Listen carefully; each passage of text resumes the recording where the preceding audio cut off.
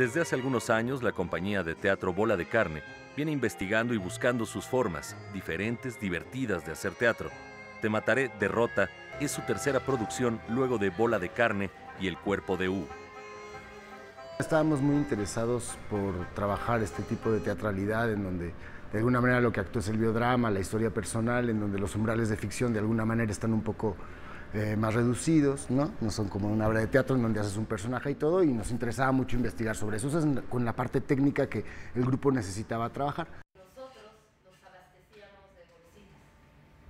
Mi padre se encargaba de cortarlas, que había que ponerlas sobre un molde y cortarlas con... Una... Te mataré derrota es una obra que habla sobre el exilio. Digamos que el exilio es como la piedra angular de la obra, y es un trabajo eh, totalmente autobiográfico, eh, de autorrelato personal y documental, eh, donde yo trabajo con los dos exilios que sucedieron en mi familia en las últimas generaciones.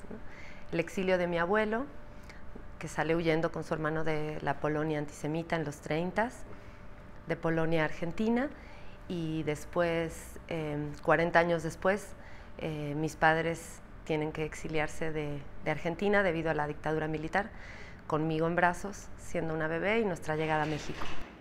¿Por qué vivimos acá si toda nuestra familia vive allá? ¿Por qué mis amigos de la escuela comen todos los domingos con sus tíos, con sus abuelos? Te mataré derrota está tomado de un poema de Juan Germán, poeta que también salió huyendo de la dictadura argentina y se exilió en México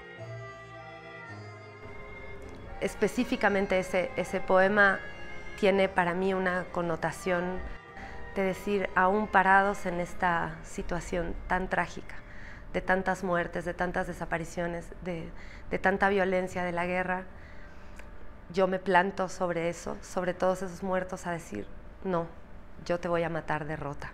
Me llamo. México, de ser un país receptor de migrantes, muchos, de muchos lados, de muchos tiempos, se ha vuelto un emisor de desplazados, de desaparecidos. Las cifras cada vez son mayores, ¿no? De gente en México que emigra buscando nuevas posibilidades, escapando de la violencia. Estaremos aquí todos los martes con la obra Te mataré derrota. Ojalá puedan acompañarnos.